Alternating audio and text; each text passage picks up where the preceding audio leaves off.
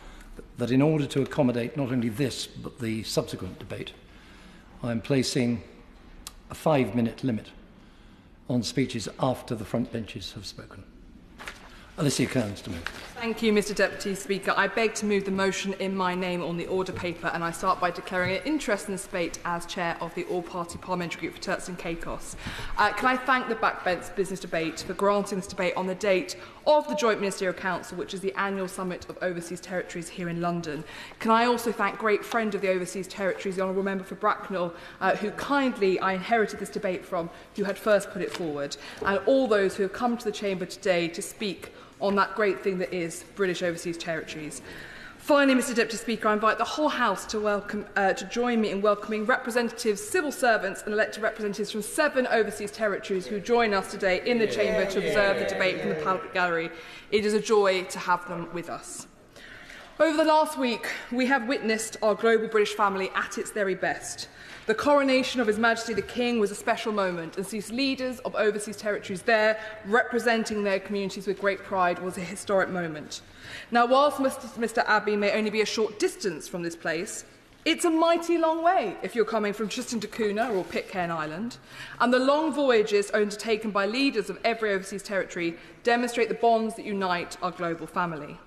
As I mentioned, the JMC is taking place where the leaders of overseas territories come together I would point out here to the Minister that last year the JMC was cancelled at extremely short notice when some leaders had well uh, begun their journeys to London, for some of whom it takes over two weeks.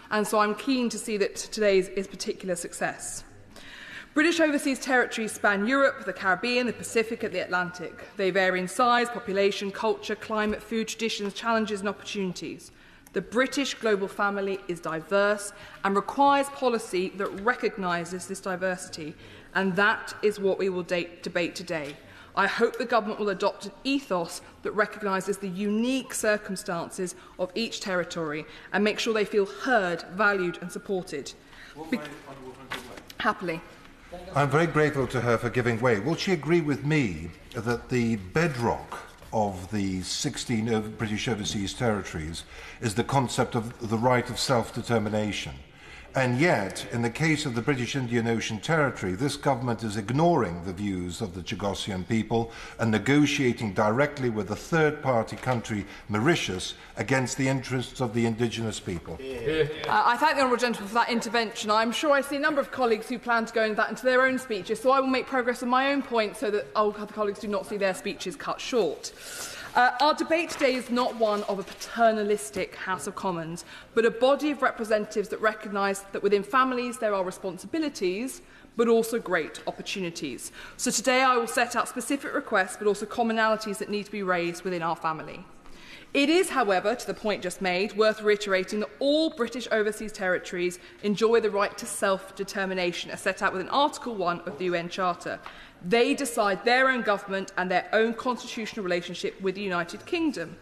The fact they have decided to maintain a constitutional right with us does not diminish this most sacred of rights. And I'm sure the whole House will join me in reiterating our wholehearted and unwavering commitment to defending this principle in spirit and in law. However, whilst we believe there is no question or debate over the right to self-determination, some members of our family face people seeking to undermine this fundamental right. At the G20 talks in March this year, Argentina unilaterally ended the 2016 Falklands Islands Pact. This was wrong. The government must continue to reject any demands from Argentina to revisit the issue of sovereignty of the Falklands. We must be clear that the right to determine the future of the Falkland Islands is a sole prerogative of its islanders. Yeah, yeah. And in 2013, 99.8 of all Falklanders who voted chose to remain British. There can be no right over self-determination. I'd also like to draw the House's attention to another area where the Falklanders require our support – Under UN Convention 24, the Falklands are currently classified as a non-self-governing territory, but we know that is factually incorrect. Both under the first Falklands Constitution signed in 1985 and under the new constitution signed into law by Her Majesty the Queen in 2009. The Falkland Islands are self-governing, but willing to refer their foreign and defence policy to the United Kingdom. The government should help the Falklands to, mis, uh, to correct this misclassification so that they can be recognised at the UN as the proud self-governing territory that they are. When we talk of sovereignty, I turn then to Gibraltar and their right to remain as a UK overseas territory. Under the double lock guarantee, the UK has given a solemn assurance that we will never enter into any negotiation on Gibraltar sovereignty in which Gibraltar is not content. The negotiations post Brexit are not yet concluded, and we must ensure they are guided by this double lock principle. And I'm sure the House would condemn any future compromise on this. If for whatever reason Gibraltar is left with a no negotiated outcome, I would urge the government to provide the support needed to deal with any economic uncertainty and ensure the continued success of the ROC.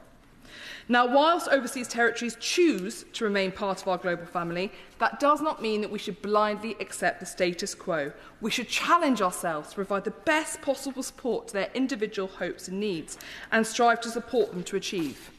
We should embed engagement government uh, across government directly with overseas territories, rather than relying on all manners of priorities to be dealt with through the Foreign Office as some sort of arbiter. There is widespread frustration about just how difficult it is to engage in either the most basic of dialogue with government departments. And surely, given our belief in self-determination, it is only right that overseas territories make their own case to government departments rather than relying on the Foreign Office to act as messengers. They make their own case best when their voices are heard. This will also help tackle any lingering belief in paternalistic governance. And the Foreign Affairs Committee itself made this recommendation in 2019 because neither their territories nor their citizens are foreign and therefore it is fundamentally at odds to have them supported through the Foreign Office. So can I therefore urge the government to drastically change how OTs are treated, and that either starts with beefing up the powers of the Overseas Directorate so it's not seen as some sort of backwater, I apologise to the civil servants present in the chamber today, and make sure that it has the powers it is needed and the Minister gives it sufficient focus it required. I would also urge the Minister to have all government departments update their strategies on the OTs because not one of them is less than a decade old. That cannot be right. We need to update the individual strategies. Now, the UK's relationship with its OTs is characterised by obligations and opportunities on both sides. Problems, Mr Deputy Speaker, that we face, such as protecting our oceans. The British maritime estate is the fifth largest in the world. It offers sanctuary to a plethora of wildlife from the South Atlantic to the Indian and Pacific Oceans. 94% of our unique British wildlife can be found in the territories, whether it's breeding turtles in Ascension, coral reefs in Pitcairn, great whales in the Falklands, and the many species which the tropical forests of St Helena and Montserrat call home although I would encourage all wildlife lovers to make sure they follow the long-awaited hatching of osprey eggs in Rutland, which is expected in the coming days. Now, Britain plays a leading role in global conservation thanks to the partnership of our territories and two key initiatives, the Blue Belt and the Darwin Plus programmes. Without our global family, this would not be the case. It is safe to say, I think, Mr Deputy Speaker, that our overseas territory communities contribute more to protecting the ocean per head of population than anywhere else on earth. And so we should be very grateful to them for making this contribution as part of the global British family. These environmental initiatives demonstrate the power of partnership. But there are other areas where the UK can do more as a partner. One such area is education. All overseas territory citizens are British citizens. Yet it was only in 2022 that they were finally granted access to tuition loans when studying in the UK. The process for applying for a tuition loan remains far too complicated for those from OTs, not least because they have to send in their applications by post, which may be convenient if you live in Rutland or lovely Melton Mowbray or Port Pythane, but slightly more difficult if you live in St Helena, which is nearly 5,000 miles from the UK. I will happily give way. Does she not think it's a great shame that the University of Gibraltar, newly established, is not entitled to accept British students on home fees or access UCAS system. It is one way and not reciprocal, and that needs to change if we are a true family.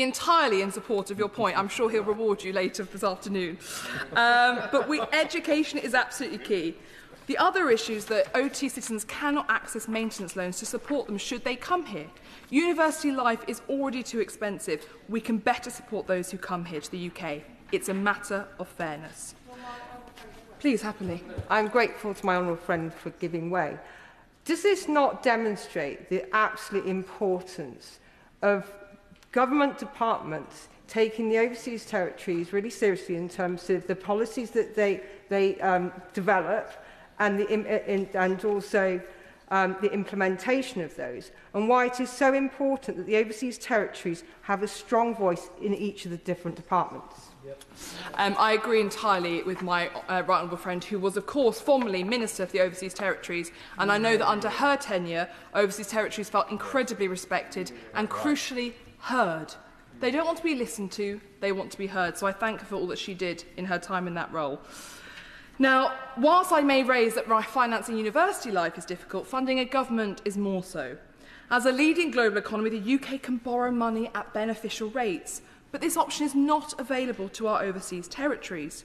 But during the pandemic, we allowed Gibraltar to borrow £500 million under a sovereign guarantee, protecting the ROC's economy at a time of economic instability. Where we can, we should use our economic clout to support our overseas territories, to develop sustainably, to grow their opportunity, their prosperity, and to invest in infrastructure.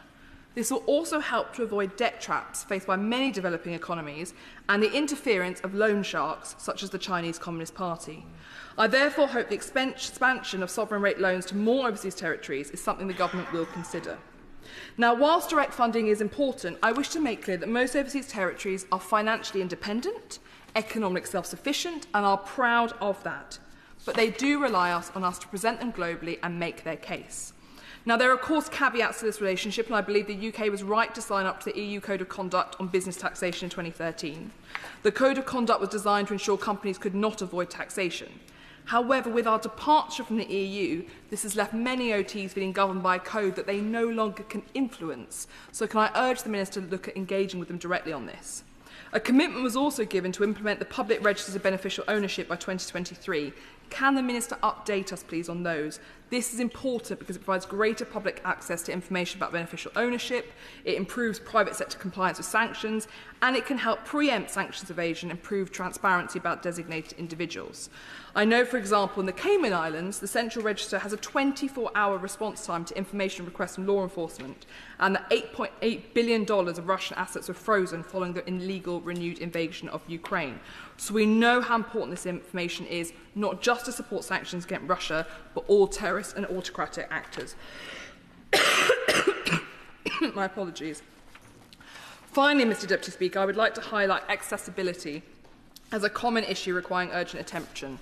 Many overseas territories are extremely remote. I recently met with the Chief Islander of Tristan da Cunha, and I understand the Foreign Office is undertaking a review into the possibility of subsidising a boat to the Tristan government.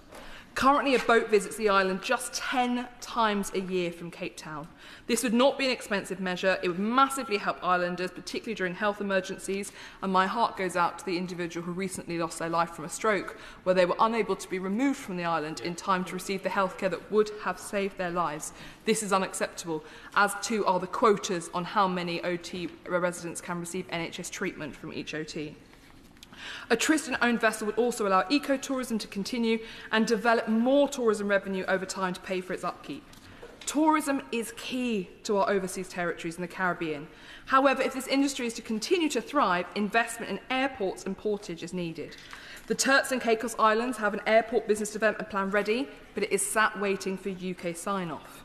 Equally, Anguilla BVI, they are seeking support with expanding and improving their airports. We must support, not hinder these projects across territories. But more than this, I would encourage the government to see OT-led infrastructure projects as an opportunity for British investment and for British businesses. It is not enough for us to always think only of action on the OTs when they are in trouble, when we should be enabling prosperity and growth. No one else is asking for a hand up, they're asking a hand out, they're asking for a hand up. So let us ensure accessibility, be it by sea or by air. In today's day and age, accessibility is particularly key also online. And can I urge the Minister to reconsider the decision to close down the digital support team for overseas territories? I was shocked to find out that this had been closed without making MPs aware, when it is absolutely vital that we help OTs digitise the services they provide to their citizens.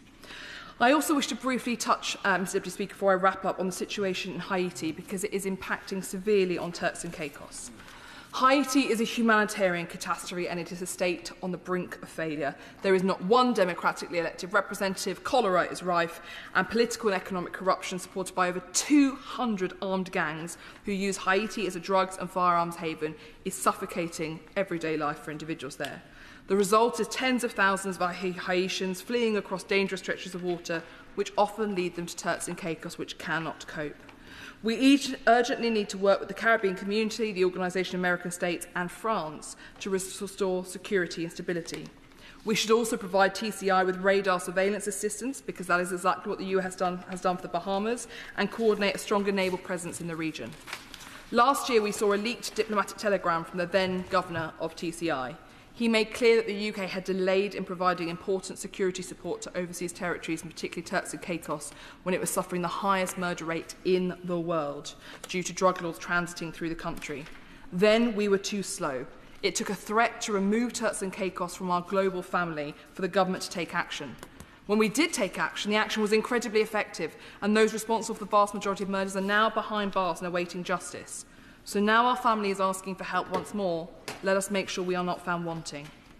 I also do want to mention here briefly, Mr Deputy Speaker, a call for all overseas territories to fully support their LGBTQ plus communities. We need to legalise same-sex marriage and for the UK government to do more than simply support it in principle. In families, there are arguments and disputes, not least across the Christmas table. But most of all, we know that we can talk to our friends and our family more honestly than we can to any other. So it's crucial we have this conversation. Mr Deputy Speaker, I started by saying that we are blessed to be part of a truly global family.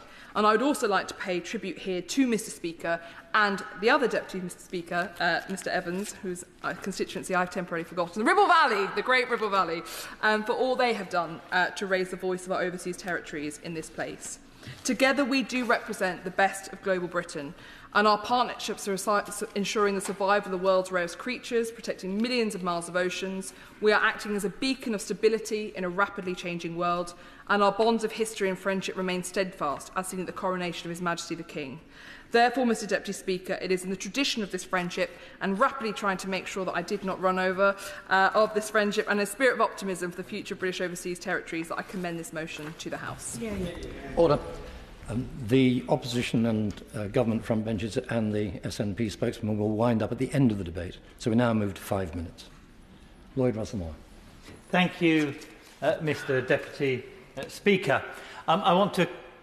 commend almost everything that uh, um, my honourable uh, colleague has, uh, has, has, has just said. Um, I, I want to focus on a number of areas. Uh, one was about the, um, uh, the UN committee that looks at uh, the decolonisation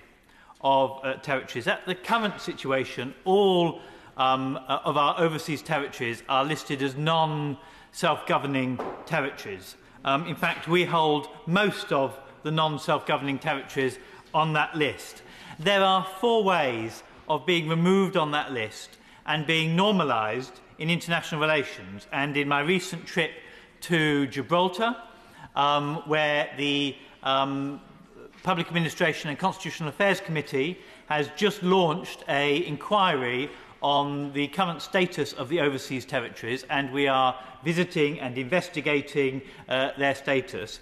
It was one of the top priorities for uh, the Deputy Premier to be removed off that list. My conversations with the Falkland Islands uh, is similar. There is a determination that they wish to be removed off that list. There are only four ways to be removed off that list either to gain sovereignty as a sovereign state themselves, or to gain free association, like a number of um, states have done with New Zealand, or to be fully integrated into Britain. Uh, and if we remind ourselves, that is the model that Malta voted for and asked for, and this place blocked it in the past. Um, uh, uh, and I do believe that that option must now be very clearly stated that that is always an option for any territory if they wish. I think it was wrong that we did that in the past, and I do would love to hear the minister say if a territory wanted integration, i.e. to be able to send MPs to this place, topic I'll come back into in a second, they will be welcome to do so. I think that is, we must make that clear. Or a bespoke option. The problem is The committee at the UN is made up of China, Cuba, Iran, Russia, Syria, Venezuela. Whilst the first three options are yes or no questions, the fourth option requires a vote in that committee. And it's clear that under no chance, there is no hope in this world that they are ever going to vote for a bespoke option of a British overseas territory. So we must find a clever solution that fulfills one of the other three that is a binary choice that doesn't require a vote in that committee but is a yes or no question to allow them to be normalised in international law. And why, of course, that is important for them is because it then gives them access to certain things at the United Nations and it allows them to stand proud at on the international stage. But that does also require Britain to be clear that these territories are self-governing and they decide their future. And I was very pleased with the intervention about the um, British uh, Indian Ocean territories. And we must be very clear that people who were displaced um, for no fault of their own should have the right to be able to have discussions about the sovereignty of that piece of land. And we, of course, should offer a decent remuneration package, whatever the outcome is. It was wrong of previous governments. My party, the party opposite, both have been on the wrong side of history on this, and we must make amends. Currently, the Crown dependencies and the overseas territories are treated differently by different departments, one by the Department of Justice, one by the Foreign and Commonwealth Development Office. I think that is wrong. I don't think it is right today, and in my view, we should have a department that looks after the overseas territories, the Crown dependencies, with a Secretary of State. Now, that might sound like a big ask, but we have Secretaries of State for Northern Ireland, a Secretary of State for Wales, a Secretary of State for Scotland, despite the fact that those um, nations and regions of the United Kingdom effectively govern themselves and do their tasks, and those Secretary of States are to ensure that the wheels are oiled in their negotiations and deliberations with the British government. And the overseas territories and crown dependencies, in my view, deserve nothing less, and that is what we should offer them. And finally, representation. It, to me, in this modern world, seems wrong that when we are negotiating international treaties that there is no representation. The fact that Britain intervened on Bermuda to stop their laws around the declassification of cannabis, which I think was right for them to do, was wrong for Britain to intervene based on international treaties that they've had no say on in this place. So I hope we can resolve that issue as well. Thank you, Mr Deputy Speaker. Madam Thank you, Mr Speaker. Can I start by congratulating my honourable friend on securing this debate and covering so many topics? Thank you for that. And can I also declare my interest as chair of the APPG for St Helena? Now, as we've heard, dotted across the globe in some of the most remote and hard-to-reach locations, you'll find our overseas territories, some of the most beautiful places in the world. But not just beautiful, also they lie in strategically important locations, giving the UK a global footprint. But most of all, they are, as we've heard, they are part of the British family. And this is something that government must always remember, respect and reflect in our support for them. I had the privilege of being the minister responsible for the overseas territories last year, and I want to turn back the clock to uh, the autumn of 2021. Countries across the world were still in lockdown, facing travel restrictions and grappling how to deal with COVID. The territories were no different. But when I hosted the JMC in November 2021, there was a universal thank you to the British government for the provision of vaccines to every OT in the world. And this was no mean feat. Like I say, these are some of the most remote locations in the world. At the best of times, getting supplies to them is difficult, let alone at a time when travel was even more difficult. But this team in the SCDO did an absolutely remarkable job facilitating this. I want to place on record my thanks to them. And I will never forget being on the, in the airport in the Cayman Islands, where the British Airways flight landed in early 2022 with booster vaccines on board. This was a really good example of supporting the British family.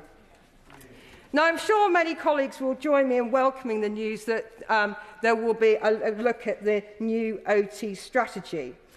And I would be interested to learn from the Minister this afternoon what the plans are in terms of the development and its publication. It would seem an ideal week to me for the voices of the overseas territories to be heard when developing this strategy, with the JMC being held today and tomorrow and a conference here in Parliament yesterday.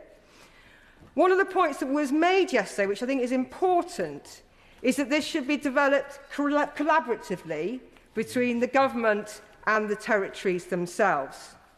And one of the issues that I would like the FCDO to look at is how we work across government on matters relating to the overseas territories, which has already been touched on. I have to say, I did often feel like I was the minister finding myself kind of um, convening and conjoling across uh, government on issues relating to the overseas territories. So I was really pleased to hear that the Foreign Secretary recently confirmed that each department does have a minister dedicated to the overseas territories. But this can't be seen as a token gesture. They need to take their responsibilities for the OT seriously. One particular area I want to touch on, and I'm conscious of time, is how departments support the OTs in becoming more resilient. Resilience has been the watchword of the last few years and is no, tr uh, no truer today than it was before.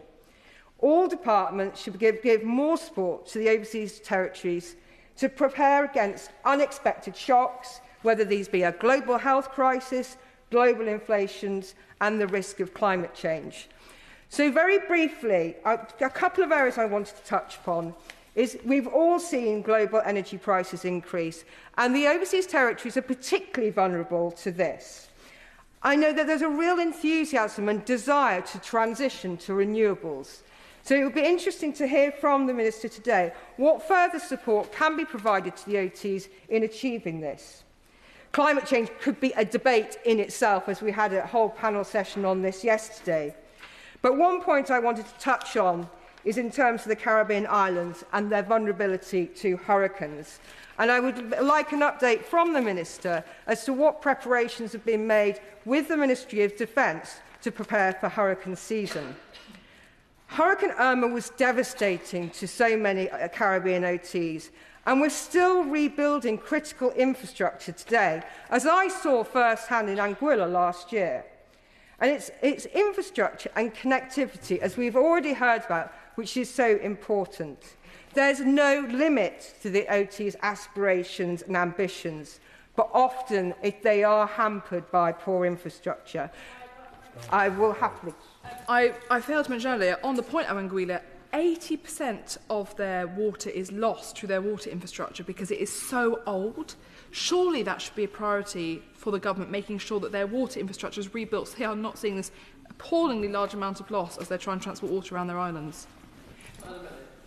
Thank you, Mr Deputy Speaker. Uh, my honourable friend is absolutely right. This is a really good example of how we need to provide support in terms of infrastructure. And she herself talked about ports and airports, the, the transport connectivity as well as digital connectivity. And many are seeking support, whether those who are kind of directly funded and supported by the UK, or they're looking for, uh, uh, to attract investment. In some cases, it's capacity building and technical expertise. Unfortunately, I can't possibly cover every single project um, this afternoon. And also, I can't possibly cover every subject that we might want to discuss, but I do say my honourable friend did a sterling job in covering so many. But I wanted to wrap up by saying one thing, and it's where I started. The overseas territories are part of the British family and we need to redouble our efforts in strengthening our relationship. Margaret Ferry. So, Deputy Speaker, it's important given the responsibilities the UK holds in terms of the inhabited territories that we take the time to recognise the close relationships we have with them. The ever evolving geopolitical landscape will naturally influence our relationships with the overseas territories. And so the government's approach to those must evolve too. They cannot remain static. Much like Scotland in the 2016 EU referendum, Gibraltar overwhelmingly opposed leaving the EU, with nearly 96% of voters casting their vote for Remain. We all know the complications that have arisen for UK citizens resident in Gibraltar as a result of that.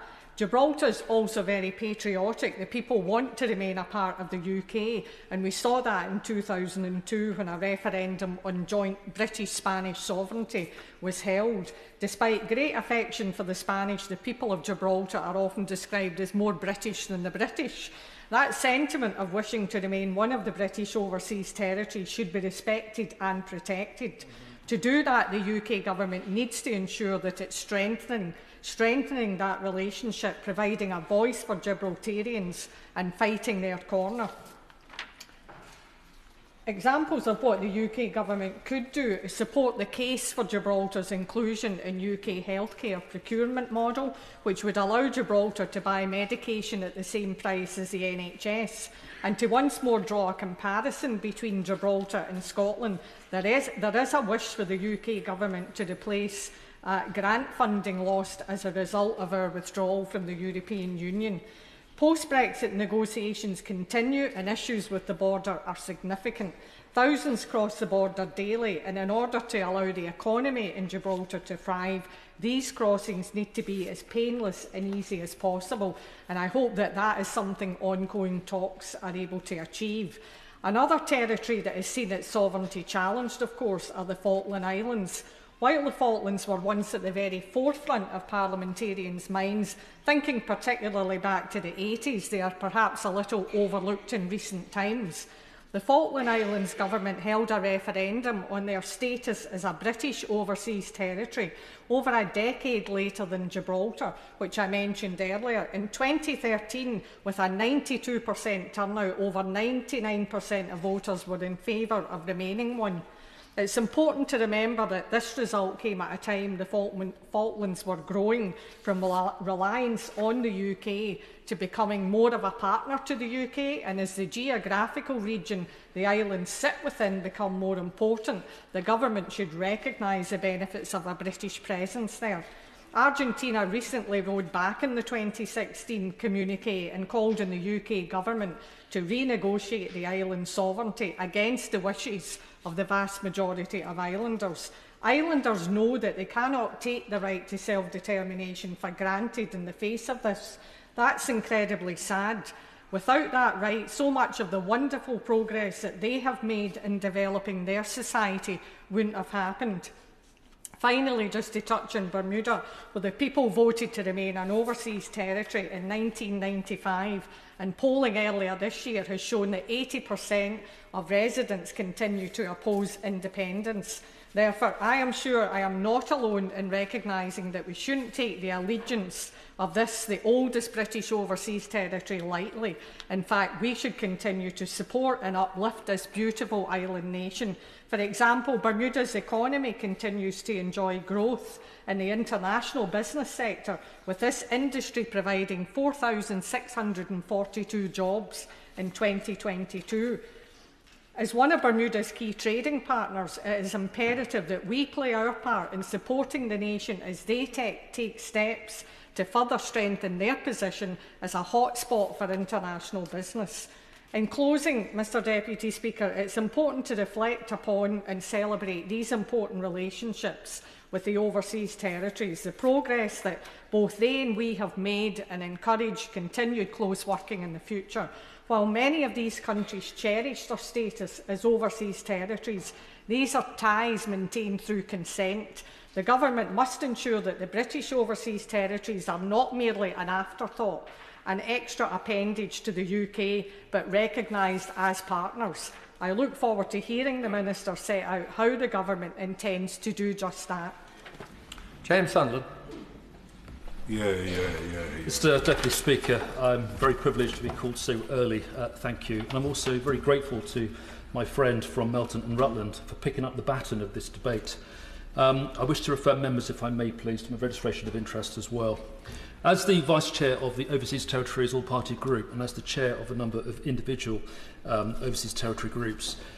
my personal interest in this goes back a long way.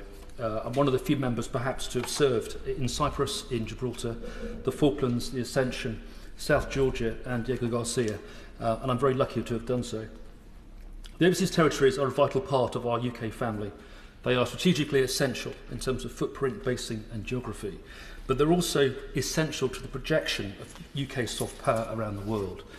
They have a common language and culture. They have similar hopes and aspirations, and we must not underestimate or take for granted their value to the UK. So, if I have to make one point today, one point only, it is this our overseas territories need more love. Mm. Yeah, yeah. In this era of global competition, the hunt for resources and strategic basic and also instability across the world. Our foes are circling, and we need to cement what we've got as a nation. So, to admire the problem, if I may, for a moment, Brexit was not kind to the overseas territories. So, what we now must do is lock the overseas territories into free trade deals with us and all of our partners, and also think more broadly to the Commonwealth. How fantastic would it be for global Britain to have this network of trade arrangements particularly with the Commonwealth, and just think of what that might be worth to the UK. Think of the potential. The UK White Paper, also from 2019, has gone nowhere. So, where is it, please, Minister? But of course, any work that we now do, and I welcome the point being made about the new strategy, it has to be done with the overseas territories and not for them. The Joint Ministerial Council last year, the ill fated Ministerial Council, has at least been put to bed now with an excellent session this week uh, and of course the minister is here, um, which is entirely appropriate. But ministerial visits um, need to be a lot longer. Does it need a minister in the House of Commons? Perhaps. We need to station civil servants there for longer too. And visiting delegations from the overseas territories to the UK, visiting the FCDO, need more than 30 minutes at a time. We have to be rolling out the red carpet for these very important people and listening to their concerns. We also need a clear and regular bilateral dialogue to fix specific issues because, of course, the OTs themselves are very different. One size does not fit all. Will he give way? Please do. I am very grateful, and he and I recently visited the Falkland Islands together. Uh, to celebrate the 40th anniversary of their liberation from Argentina, we were told at the time of our visit that we needed to do more to support the Falkland Islands in their negotiations with the European Union over tariffs on their squid and, uh, exports to the EU. Does he agree with me that we need to be more robust and supportive of the overseas territories when they are negotiating with the European Union? Thank you, and I agree entirely with my honourable friend. I need to be careful what I'm saying uh, for obvious reasons, but I entirely agree that that needs to be the case. The Falklands, for example, is suffering tariffs right now um, on fish, and we need to do that very, very quickly indeed. So why not also create a Pacific department within the FCDO for the ATs and the Commonwealth, longer JMCs perhaps, and of course a new strategy. There's lots we need to do, as my honourable friend said. So what about Pacifics? Well, I can't hope to cover the totality in five minutes, but, uh, but, but we do need a new trade arrangement with the overseas territories to reflect the changes with the European Union and other countries. The British Virgin Islands, in particular, wants its prescriptive court order lifted. It has a new government and a superb new Prime Minister, so it's time now for the BVI to fulfil its potential and to move forward. Tristan Tacuna needs a boat, as we know and as we heard, for obvious strategic and medical reasons. And of course, we cannot concede sovereignty of the Chagos Islands yeah. until we factor in fully the plight of the Chagosians. Yeah, yeah, yeah. And also yeah. the military importance of the archipelago is very important as well. In terms of South Georgia, the fisheries could be brought under the governance of the Falkland Islands, and therefore residents in all OTs should benefit from the potential that we all have. And all OTs need the support that they must have in terms of infrastructure, utilities, and climate change.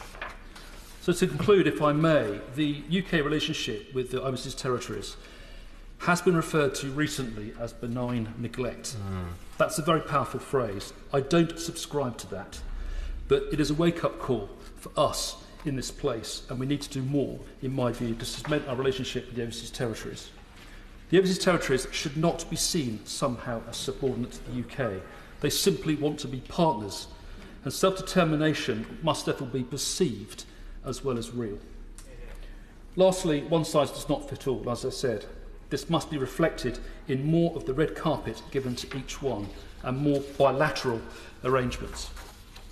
And Mr Speaker, the OTs are very special and they're very proud to carry the UK flag. The UK must therefore seek to get more from them but also to offer more back as true partners for mutual benefit. Nothing is broken, far from it. but this is now a fantastic opportunity that the UK and its partners in the overseas territories must embrace. Daniel you Very much, Mr. Deputy Speaker. I had the great privilege and honour of visiting the British Indian Ocean Territory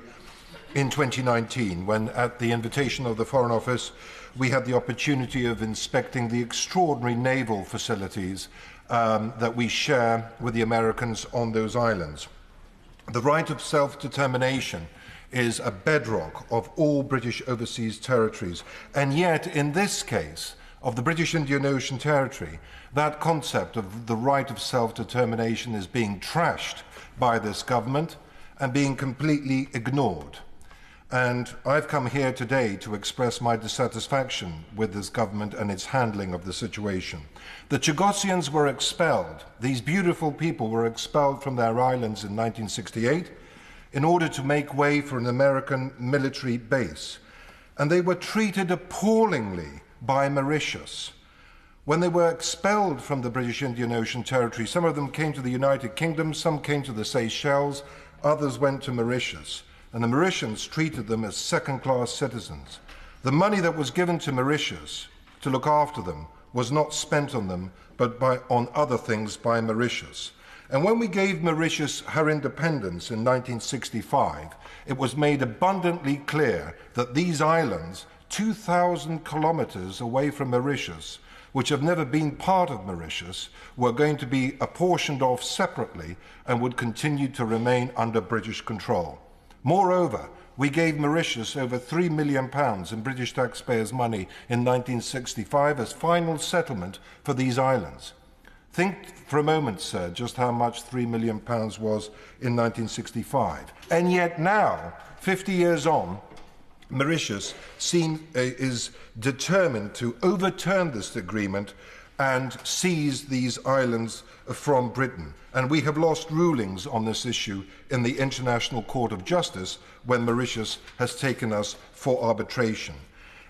And yet, the right of self determination should be at the forefront of our conduct. Negotiations with Mauritius must stop. The Chagossians, which there are about 4,000 of them, must be allowed to return, and there must be a referendum in the British Indian Ocean territory of the Chagossians as to whether or not they want independence or whether or not they want to become remain British. And in all my conversations with the Chagossians, they are proud Brits. and they want to remain as part of the British family. I will give way. Uh, the total territory is 10 times the landmass of that of Gibraltar, which we also use as a naval um, and military base. Does he not agree with me? You could create a fantastically thriving community in those islands alongside also supporting the military. And this binary option that the government has pushed forward is detrimental to all sides. I, I, I completely concur with the honourable gentleman's sentiments. Chagossians are descendants of slaves from Africa and Madagascar. They have their own language,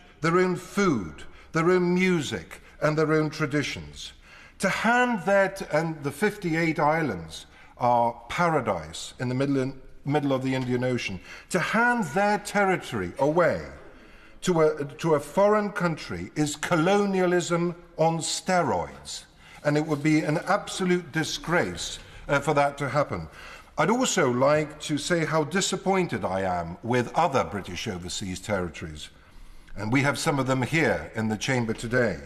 They are very eloquent at demanding that their rights and the rights of self determination, Gibraltar in particular, always is very effective at lobbying us. But a key term of emotional intelligence, subject I've been studying recently, is interdependence.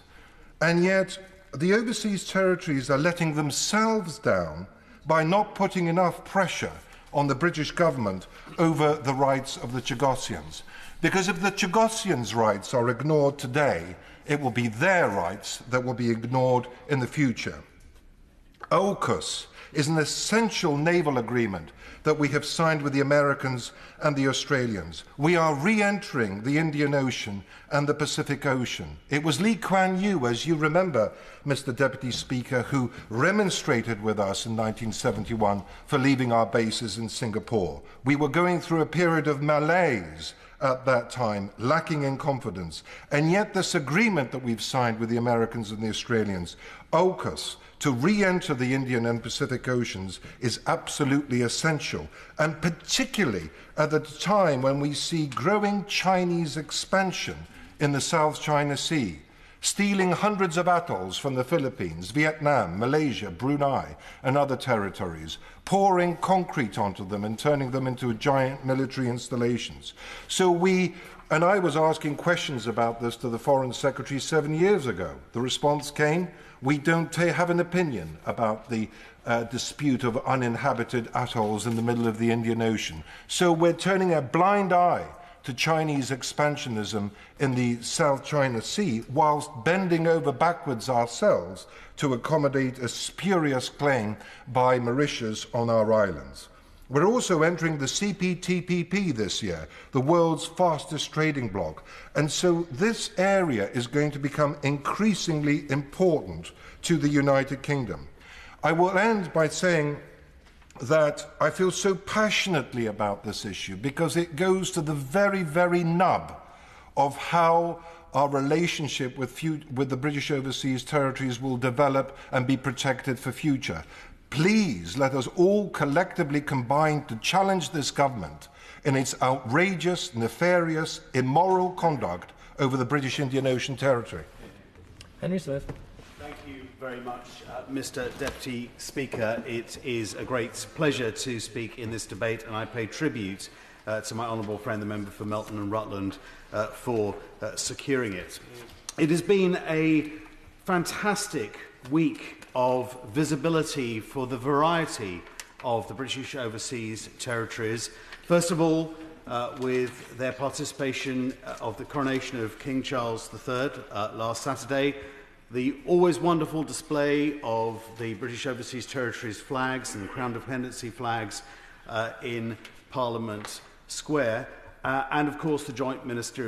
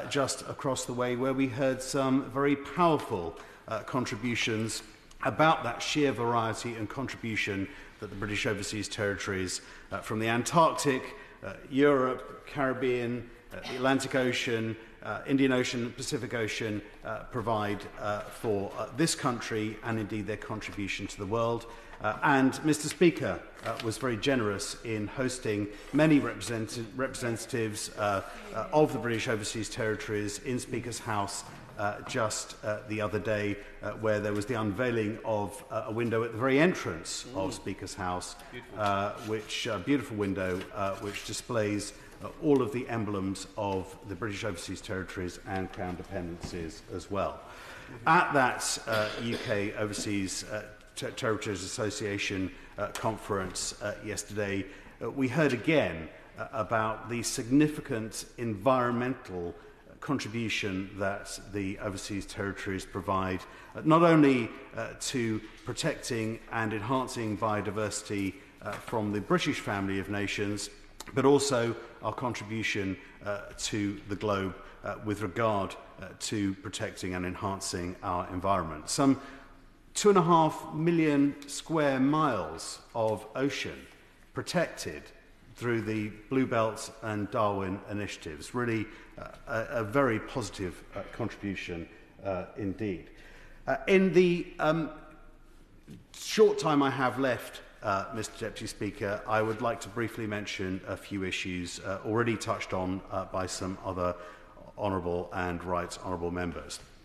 When it comes to the Turks and Caicos Islands, uh, the crisis that is occurring in Haiti is causing uh, intolerable immigration uh, pressure uh, on those islands and also uh, resultant serious criminality. And I would ask uh, the government uh, to continue fully engaging with that.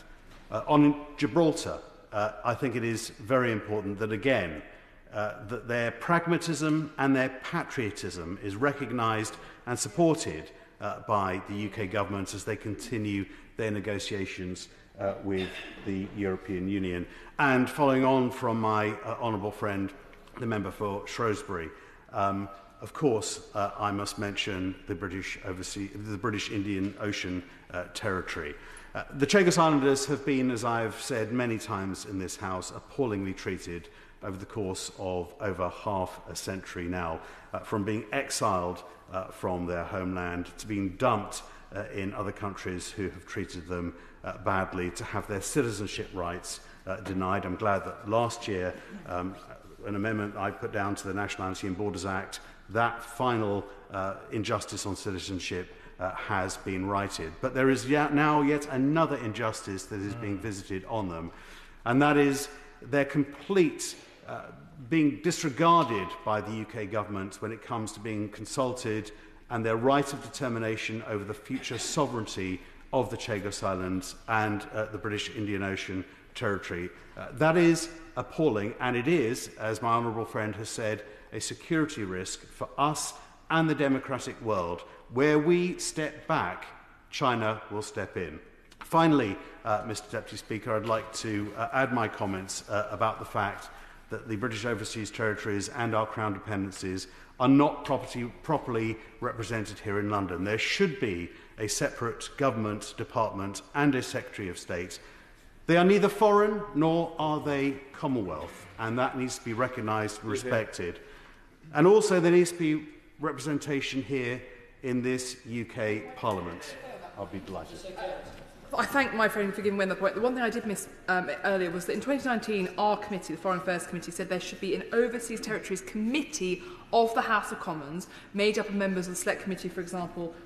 the Right Honourable Gentleman and the Gentleman's up behind me, uh, Foreign Affairs, Defence, DEFRA, all those committees that best care about the issues that matter to the overseas territories.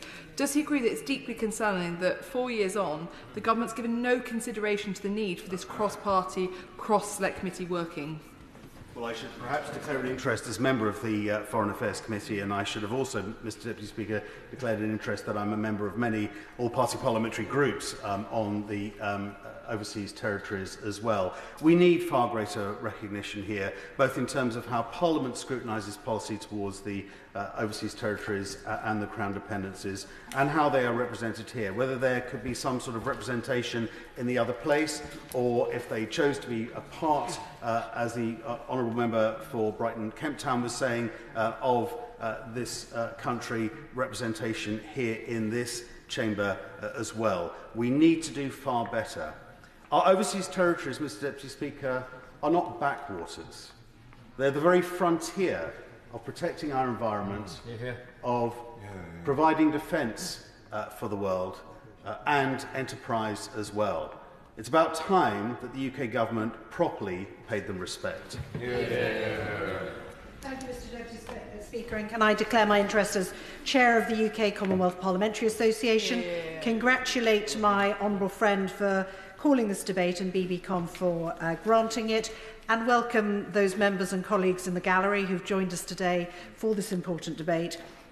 and also to Mr Speaker and, and others uh, for their incredible support of the overseas territories, uh, making sure that they, they are not forgotten and I hope not seen as a backwater.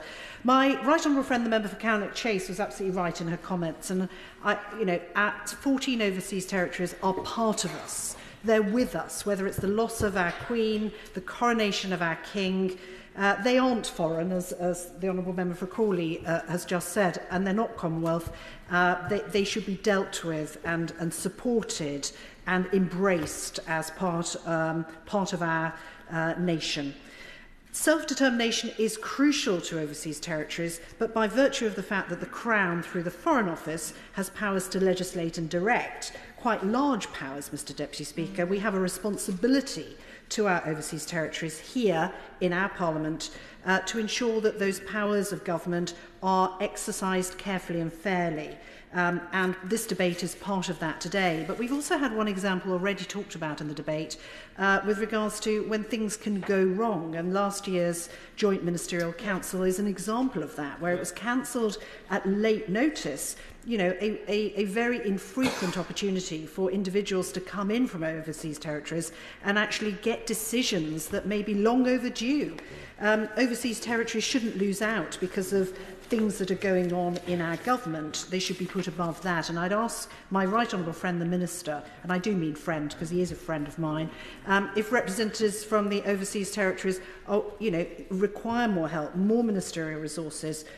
you know, whether he'll consider making sure that those are available to them. Now, we know that the challenges faced in overseas territories are as unique as each of them are. St Helena, the Ascension Island, Tristan da Cunha and Pitcairn. And I have to say again, when my honourable friend, the member for Cannock, was talking, I was grasping my badge here from uh, the Falkland Islands when I was there. It was May 2020. I think I missed being there for a lot longer than I thought I was going to be by just a few days as a result of the pandemic. Um, but a wonderful welcome that we had. Um, they're all very different and they're all very vulnerable in their own ways, um, particularly vulnerable to natural disasters. And I remember talking to some colleagues from Montserrat about the continuing impact of the volcanic destruction yeah. that was many decades ago now, but still continues to be felt locally. So as our government continues to focus on protecting the environment and setting ambitious net zero targets. Perhaps the Minister could also talk to us a little bit about what more support we could be giving to our overseas territories in this effect as well. But as Chair of the UK CPA, Mr Deputy Speaker, you'd expect me to turn most of my comments to the role of our organisation in helping support governance in the overseas territories, because it's the UK branch of the Commonwealth Parliamentary Association which does the most extraordinary amount of work uh, to support the UK Overseas Territories project, work done to support the UK government's uh, obligations to discharge its constitutional responsibilities to ensure good governance in overseas territories. Now, this project began in 2016 and works with each territory alongside the National Audit Office and the Government Internal Audit Agency to enhance good governance and oversight of public finances. Now, these things are absolutely vital to ensure the flourishing of the territories. And the C CPA runs many bilateral and multilateral meetings on top of this. At the end of last year, parliamentarians visited uh, Westminster for the fifth Overseas Territories Forum on the oversight of public finances and good governance. And the Speaker of St Helena visited last year, and the CPA facilitated a uh, clerk's secondment uh, to the Anguilla House Assembly in last July. Um, along with the Westminster seminar in March and other meetings, the CPA does a huge amount to fill some of the gaps left by the government's approach to overseas territories. And we're very grateful to uh, the government for allowing us to have that opportunity. But at a time when our our budgets are under pressure, I hope the Minister might also take the opportunity at the dispatch box today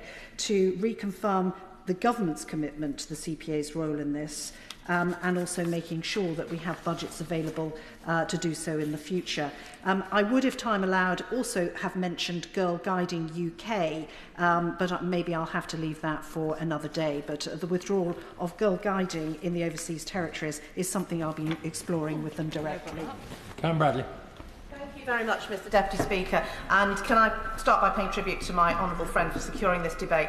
I wish to make a short, brief intervention in my capacity as Chair of the House of Commons Procedure Committee, because it has struck me in the work that we've been carrying out that we fail very often in this place to recognise the impact of what we're doing here on those very important parts of our family, the overseas territories, and I would say the Crown dependencies.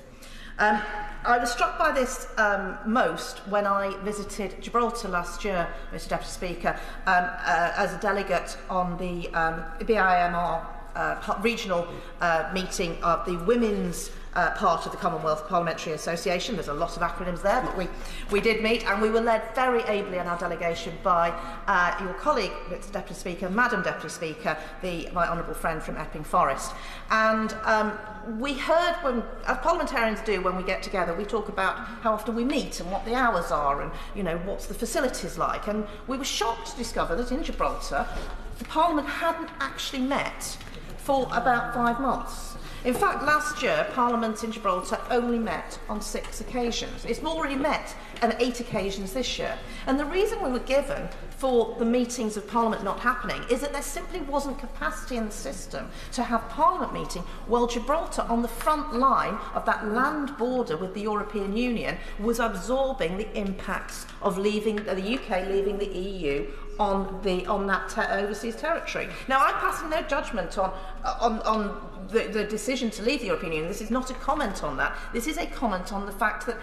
in this place, I don't think we thought about that.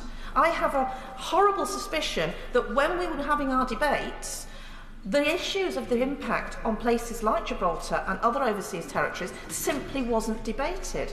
Now, I don't disagree that at ministerial level these issues will be, will be talked about, and the Joint Ministerial Council, I know, will discuss these matters.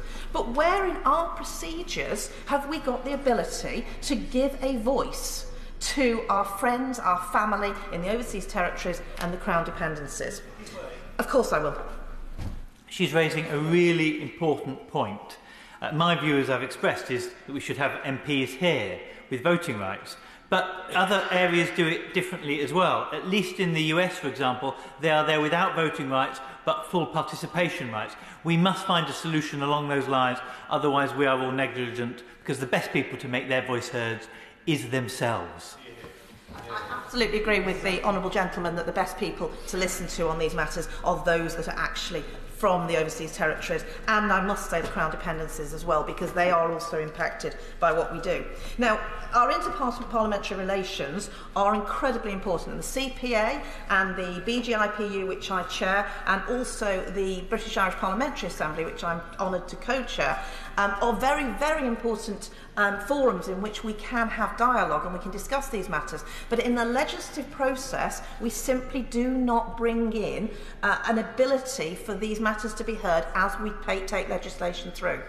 So as chair of the procedure committee and my honourable friend from Bracknell is a fellow member of that committee, we have been discussing as part of an inquiry we've been carrying out for some time on the territorial constitution, how we might work better as a UK Parliament, as Westminster Parliament, to appreciate the impact of what we're doing on the devolved nations, the Crown dependencies and the overseas territories.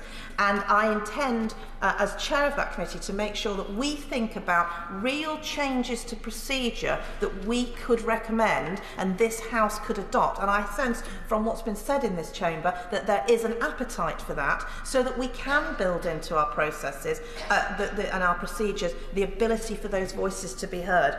Because the overseas territories, as we've heard for many reasons, I won't repeat them, matter so, so much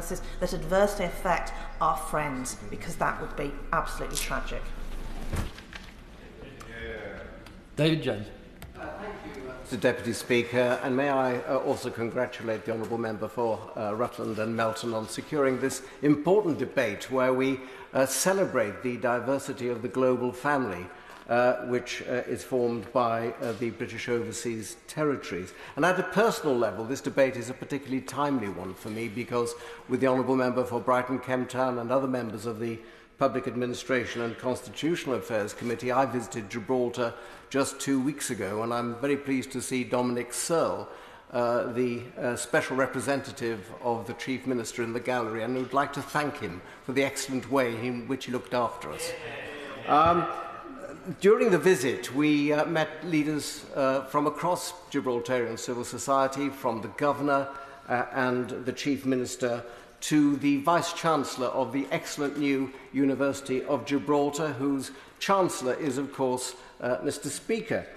Uh, and PACAC, as we've heard, has recently opened an inquiry into the status of the overseas territories in the 21st century, another reason why this debate is so timely. Uh, the motion today quite properly calls on the government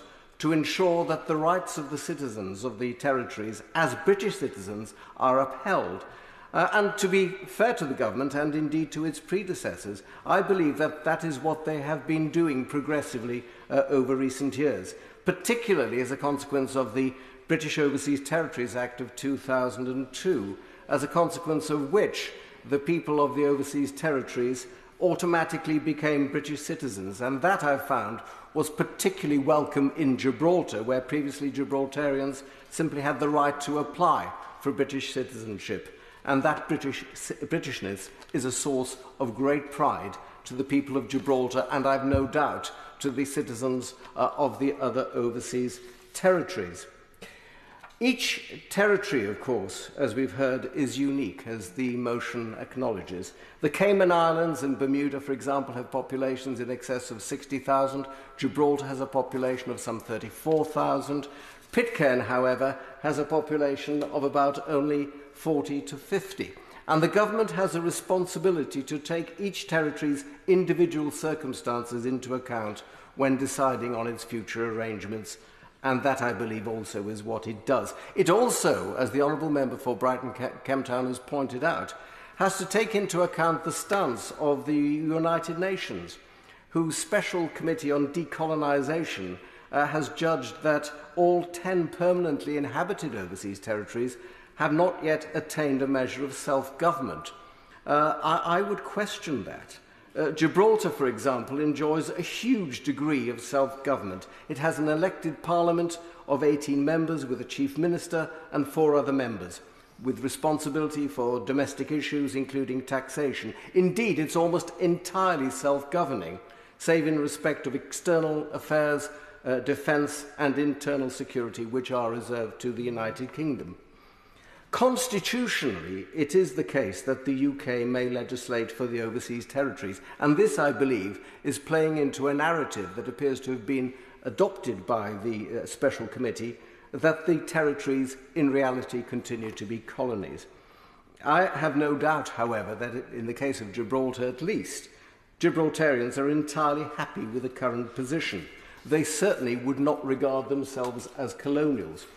But this is an issue, Mr Deputy Speaker, that does have to be addressed constitutionally, as the Honourable Member for Brighton Kemptown has pointed out.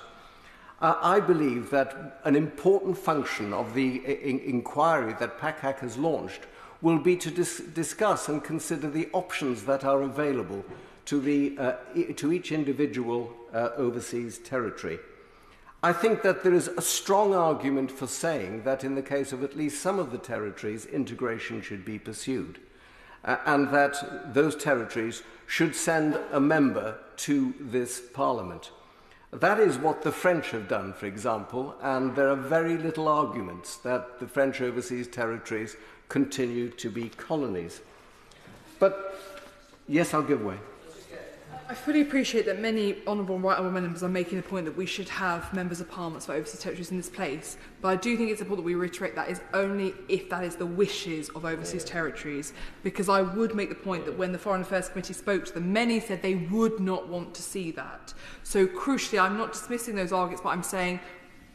only if that is what they see as the best way for their voices to be heard in this place. Yeah. Well, yeah, lady makes an important point, and of course the government's position is that the individual overseas territory should enjoy self-determination.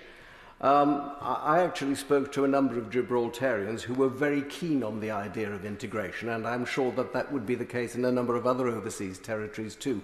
But that is something that PACAC will be looking at in the context of its uh, inquiry. So I, yes, I'll give way briefly.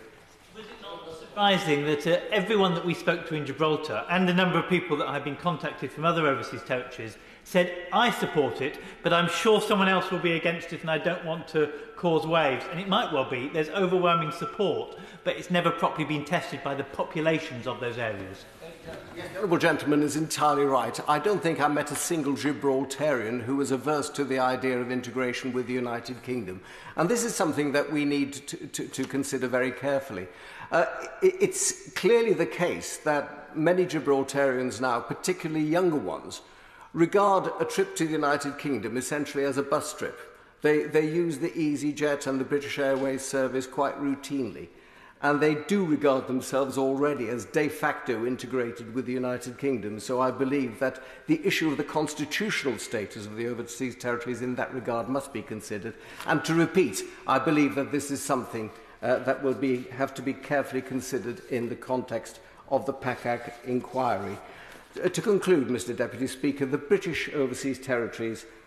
are important elements of the global uh, British family, which I think it's quite clear from this debate, are highly valued by honourable members on both sides of the House. The government and the House should be careful to ensure that their interests are reflected and protected, and those are issues I believe that will be carefully considered by PACAC in the course of its inquiry.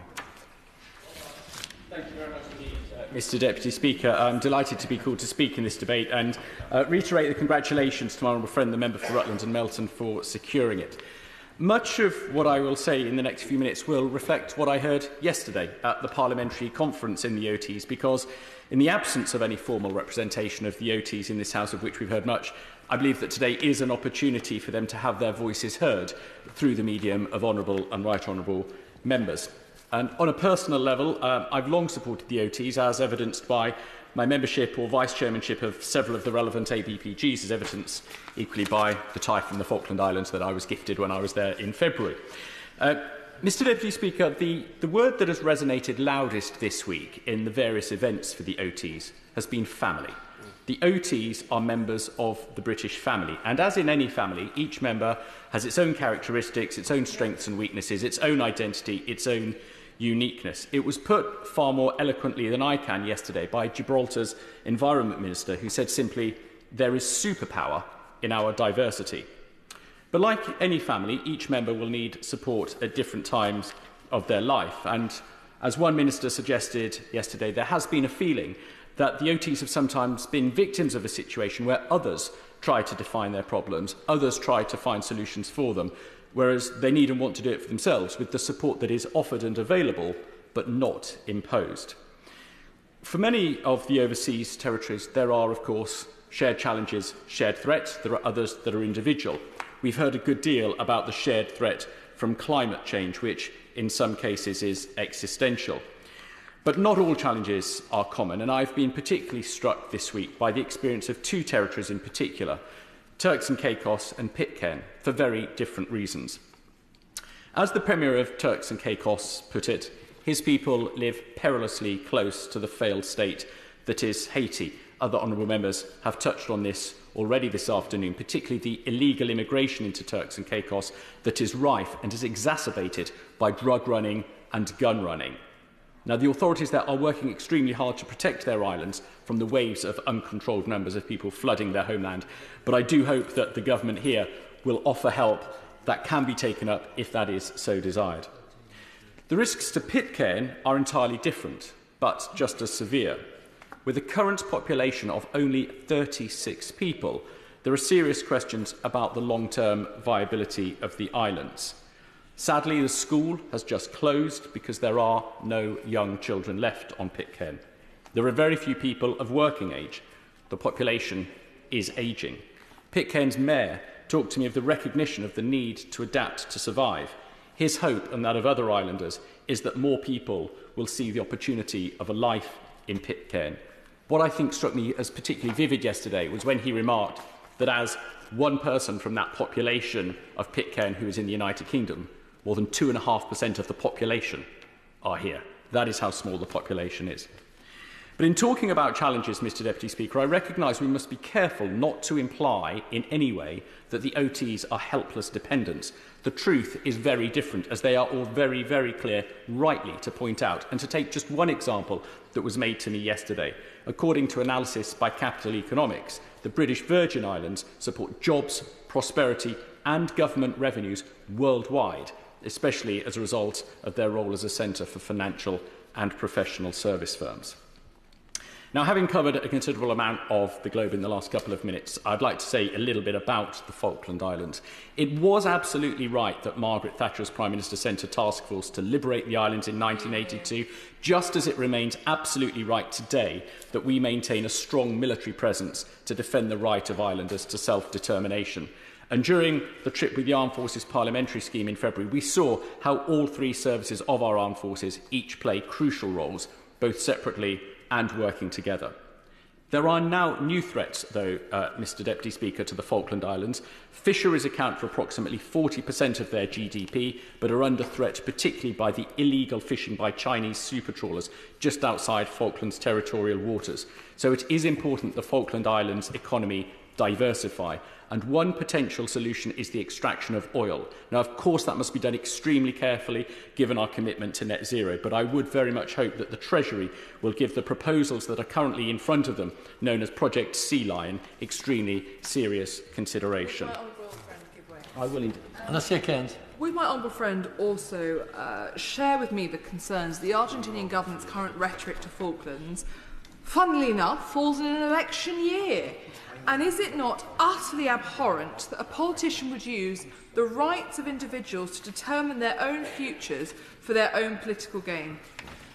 Uh, as in pretty much everything else she has said this afternoon, my right-hand friend is absolutely on the money. She is completely correct. And the way the Argentinians have behaved in this election year, as she rightly points out, is truly outrageous and incredibly offensive to the people of the Falkland Islands. And I know from talking to their representative uh, over the past couple of days, the Falkland Islanders are very grateful that we have recognised that in this place in recent weeks. Um, to conclude, Mr Deputy Speaker, the OT's offer afford us a tremendous global footprint footprint of strategic and economic significance. Gibraltar's minister rightly remarked that through and thanks to the OTs, for many years we have already had global Britain. And let us not forget there are plenty of hostile nations who are looking for new friends, especially in strategic locations. So we should not take our traditional allies for granted. Let us be clear, as the Premier of the BVI pointed out, that even in smallness, there is opportunity. It was the mayor of the smallest OT, Pitcairn, who summed it up perfectly, Mr Deputy Speaker.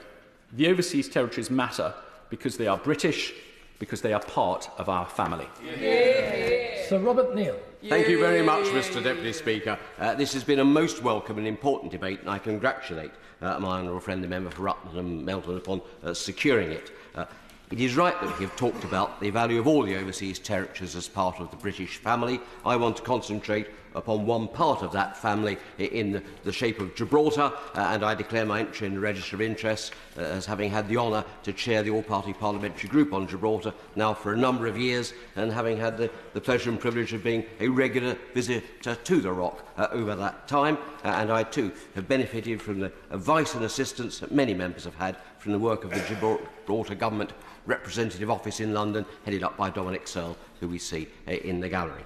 Uh, uh, Gibraltar is absolutely clear in its determination to remain solely British in its sovereignty. That has been reaffirmed by 99% of its electorate at two successive uh, referendums.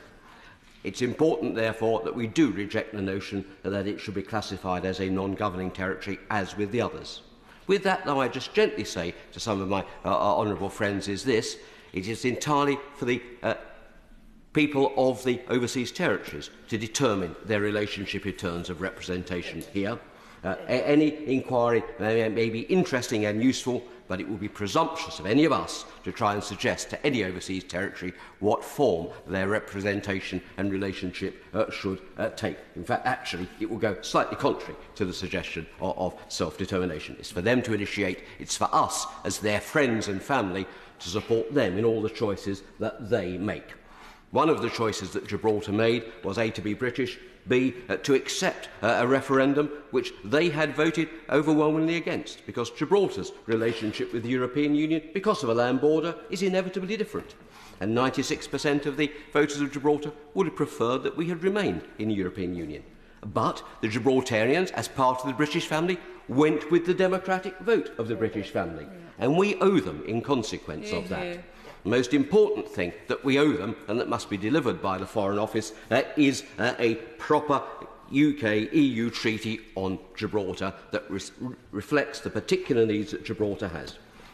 Gibraltar has transformed itself magnificently over the last few decades from a traditional uh, garrison uh, come dockyard economy into a very diverse and thriving one uh, with tourism, uh, internet businesses, and in particular a very successful financial services sector. To fuel and make that economy work, some 15,000 people a day cross the land border uh, with uh, Spain uh, at uh, La Línea. Keeping that land border free flowing is an essential prerequisite uh, of any deal that must be achieved in a way which respects Gibraltar's sovereignty and integrity. Yeah. That should not be impossible to do. It should be the top priority now uh, of the Foreign Office in resolving the remaining uh, EU uh, UK uh, issues. It's the top priority, I assure, assure you, of the Spanish Foreign Office. It ought to be a high priority for us too. Yeah. It should work for both sides because, in fact, the economic prosperity that Gibraltar generates greatly assists uh, those regions of Spain adjoining it in the hump of Gibraltar. So it would be in everybody's interest to get this. We must get that done. Should, heaven forbid, uh, we fail, uh, then we would have a moral obligation to pick up the cost, the economic cost, that would fall upon Gibraltar in consequence. Uh, the best thing to do is make sure that never happens uh, and that we get a deal. The second thing is practical support that we can give uh, to Gibraltar.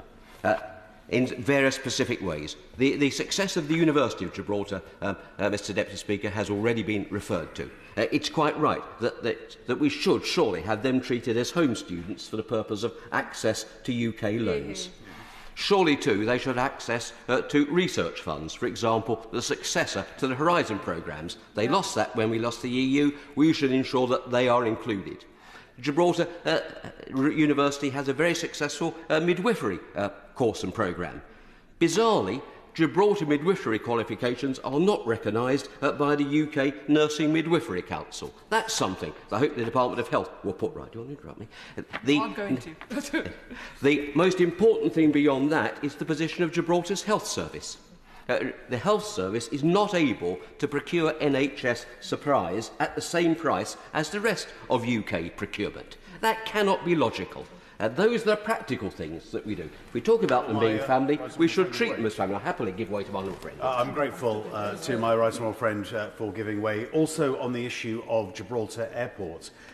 uh, don't you, does, does he believe that it is incumbent on uh, the British government to uh, seek to help the Rock as far as possible in terms of solutions uh, that actually could be extremely beneficial to them?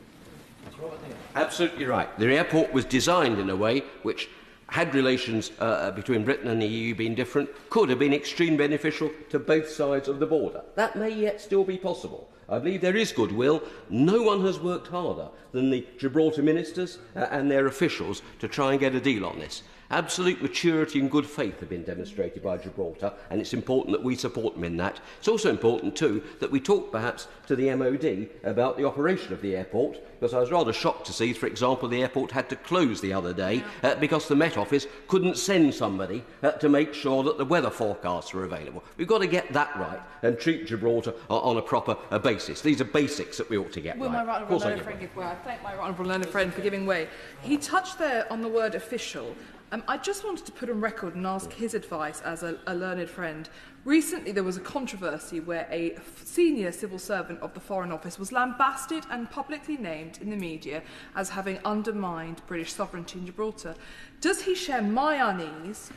that individuals in this House, or perhaps associated them, chose to brief out against a Foreign Office civil servant who has no right of reply. They cannot contact the media, they cannot correct the record, and they cannot speak up on their own behalf. I am gravely concerned about the sort of reputation and uh, standard this uh, sets. Would my right honourable and learned friend agree that we should be considerate of the way in which we speak about civil servants who cannot respond. I'm very grateful to my honourable friend. Uh, I entirely share that. Uh, I'm glad to say that the Chief Minister of Gibraltar made a very clear statement after that unfortunate comment was made, making it clear that there was no question of concern by the Government of Gibraltar as to the competence or probity uh, of uh, the official's conduct, and that fortunately nothing had been done to prejudice the negotiations. But the raising of it did not help at that time, and it was a needless distraction. And I hope, therefore, we will show the same maturity, actually, that Gibraltarians themselves have done throughout the whole of this process. The final thing that I was going to touch upon, uh, Sir Roger, uh, was the whole question uh, of uh, sovereign rate borrowing uh, which has already been referred to. Because of the pandemic, uh, Gibraltar had to borrow uh, significantly. We were grateful for the support that they were given. Uh, they want to continue to be able to borrow money at UK sovereign rates, because the sovereign rate guarantee, of course, means you can get a, get a much more attractive rate. Now, given that we're already charging them more uh, than uh, uh the rest of the, the UK would pay for their NHS supplies, and much of this went to, to keep the health service going and their economy going. Surely we owe them uh, the decency of a guarantee of 25 years repayment at sovereign rates uh, on the money that uh, was done to assist them during the pandemic. Yeah.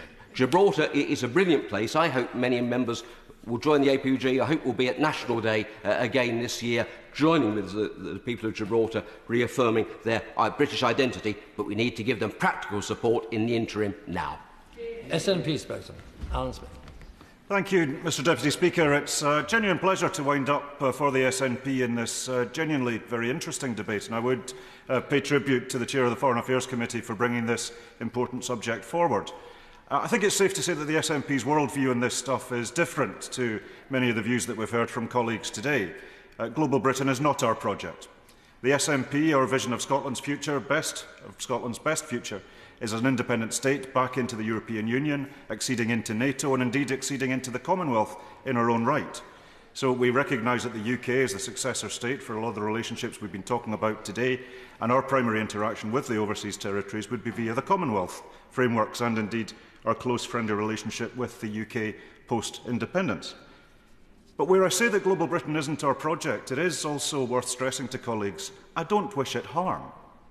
The overseas territories are important partners. The UK is going to be an important partner for an independent Scotland, so even if our worldview comes to pass, and I accept many colleagues don't want to see that happen, we want to see the overseas territories do well, and we want to see a deep and flourishing partnership between the UK and, indeed, those overseas territories. And self-determination is part of the SNP's DNA. We would go further even than the United Nations does. We believe that the right of people to choose their government and choose their constitutional arrangements is absolutely fundamental to democracy. We recognise the right to self-determination under the UN Charter is limited. It's limited to cases of oppression, a post-colonial setting, uh, and indeed invasion. But we would go further in that. So we would utterly agree with colleagues who have expressed support for the overseas territories' right to self-determination. And I'd also recognise that where that right to self-determination has a right to independence, it also has a right to decide to be a British overseas territory and have whatever representation they want to have within this framework. And I think there are a number of ways in which that could be uh, uh, ameliorated and improved. But I deeply respect the choice of overseas territories to have whatever status they want and whatever representation they want as part of the British family. And I hope members would accept me on my good, good faith when I say that. But with that, that right comes responsibilities. And I think it is important that uh, we take stock of the relationship with the overseas territories. The coronation of the new king is, I think, a good opportunity to do that. That's a, a stock-taking exercise is taken across a number of the overseas territories themselves. We also need to take proper note of the relation that uh, our, uh, the choices that our uh, decisions make upon them. And I couldn't agree better that uh, the gentleman that said that Brexit has not been kind to the overseas territories. Now, we fundamentally agree on that point. The, leaving the EU in the way that we did has upset the constitutional balance within the devolved settlement for Scotland, Wales, England, uh, Northern Ireland and uh, indeed London. All parts of the constitutional furniture within the UK were predicated upon all of us being within the customs union, the single market and indeed the EU. That has been changed. And it's also been changed for the overseas territories. We've heard much mention of Gibraltar. I had a number of talks with the Gibraltarian government when I was a member of the European Parliament trying to find some solutions for them. But likewise, fisheries quotas for the Falkland Islands and lots of other things besides have not had the degree of attention that they deserve from this place. And I think there's a job for all of us to improve on that. Uh, I'd also very much uh, agree with the point the Chair of the Foreign Affairs Committee made that uh, if they're not foreign, dealing with them via the Foreign Office apparatus seems to be missing something of a trick. And I would suggest that Denmark and France particularly have ways of interacting with their overseas territories, which I think would bear quite a bit of analysis from the FCDO and indeed the UK government and more widely in terms of finding new ways of doing this, but always accepting that it's up to the overseas territory to decide the interaction that they want and they deserve. It's not for anyone to tell them what it should be. But policy uh, impacts and policy coherence is deeply important. And friends can speak honestly to friends, and I think it's also worth us recognizing that a number of the overseas territories are globally recognized industrial tax evasion centers. And I think there are implications for us, especially as we see with the consequences of the Russian in invasion, stepping up of the invasion into Ukraine, that there's also a role in sanctions busting there as well. And I think policy coherence is really important that it is ensured. I've mentioned from this space a number of points uh, as we were sanctioning Russian oligarchs, as we were sanctioning Russian organisations and seizing dirty money, the overseas territories have a really important role to play in that as well.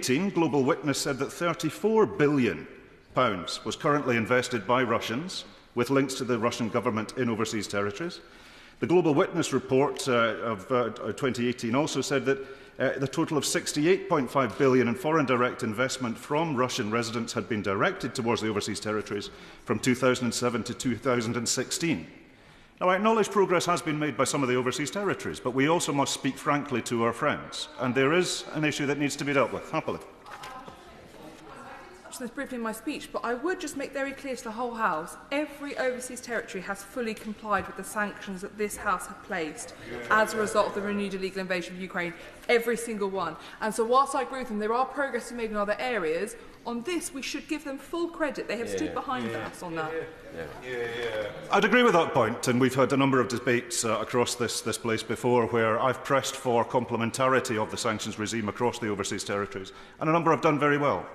But we must maintain vigilance on this, and in the same way that London is a centre of dirty money, the overseas territories play a part in that network as well, and we must be vigilant on that point. London.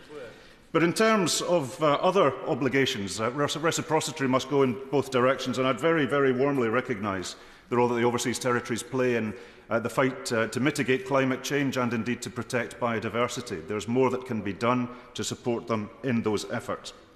So it's right that we should be reassessing our relationship with the overseas territories. They are an important partner in what we all want to see happen, the protection of uh, people from climate change, the protection of biodiversity, And I think the UK can do more to recognise and support their efforts. The SNP wishes the Minister well in that endeavour. Thank you, Sam thank you, uh, Mr Deputy Speaker, and I would also like to thank the Chair of the Foreign Affairs Committee for securing this critical debate and ensuring that the concerns and the priorities of the overseas territories remain within the focus of this House and indeed uh, for the government to hear. And I would also, um, as uh, Shadow Minister in that capacity, draw attention to my declaration of interests, in particular my visits to Gibraltar and the Falkland Islands as guests of their government uh, in the last year.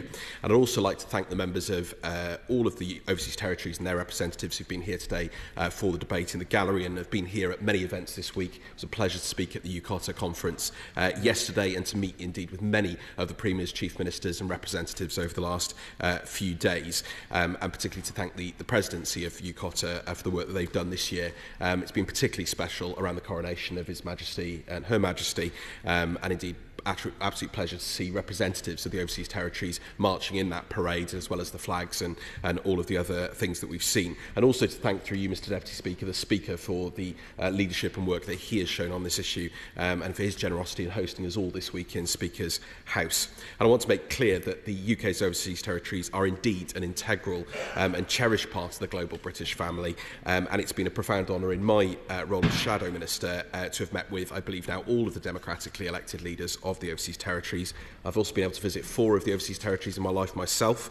Um, I've seen firsthand the warmth and the innovation and diversity, uh, distinctiveness of the people and environments in each. I've swum with uh, penguins in the South Atlantic and the Falklands, um, and indeed uh, taken tea at the Rock Hotel in Gibraltar. Uh, so I, I won't. I know what he's going to say, but he's, he's very kind. But we haven't got a lot of time. Um, but uh, but on that on that more humorous note, I also want to be very very serious, uh, Mr. Deputy Speaker.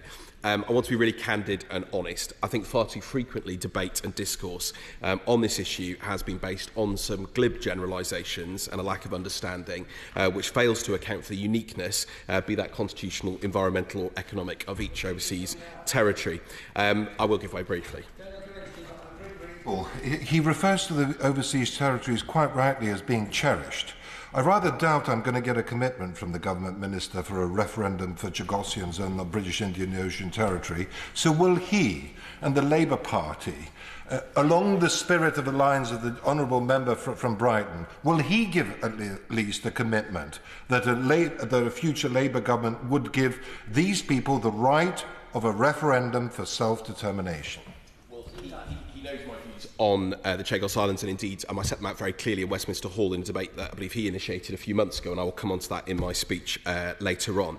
Um, but what I want to say is that, as well, despite some extremely committed individual officials and ministers in the FCDO, um, and indeed individuals who work alongside the administrations, uh, we've seen far too little consistency, understanding, engagement, and crucially, listening. And I believe that on this side, in a future Labour government, we would set out five key principles which would guide our relationships with the overseas territories. Firstly, um, that we believe in devolution and democratic autonomy and establishing clear consistency on constitutional principles of partnership and engagement. Secondly, that we believe in listening. I firmly believe in the principle of nothing about you without you. Thirdly, that we believe in partnership. Um, a future strong and sustainable relationship between the UK and each of the overseas territories must be built on mutual respect and inclusion, and indeed across all government departments, not just the FCDO.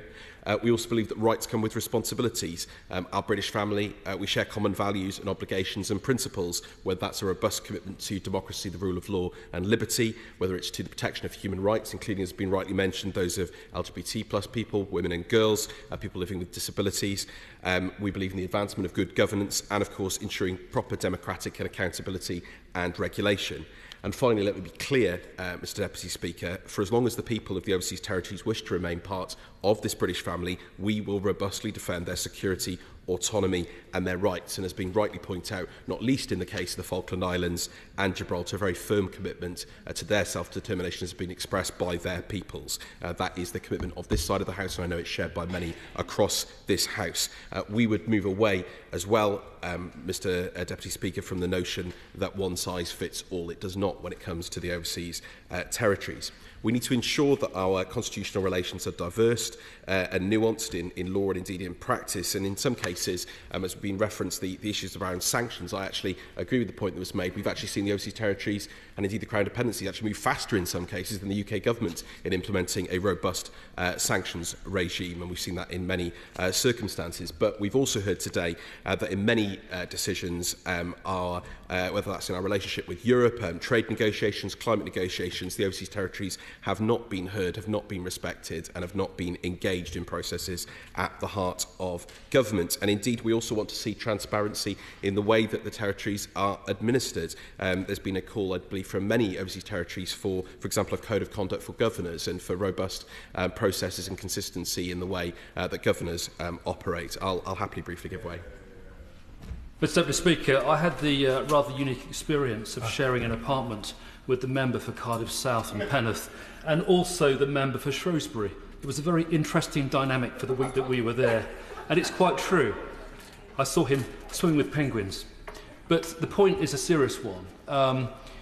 having got to know my honourable colleague from Cardiff South and Penrith, I know that he's a clever guy and he gets it.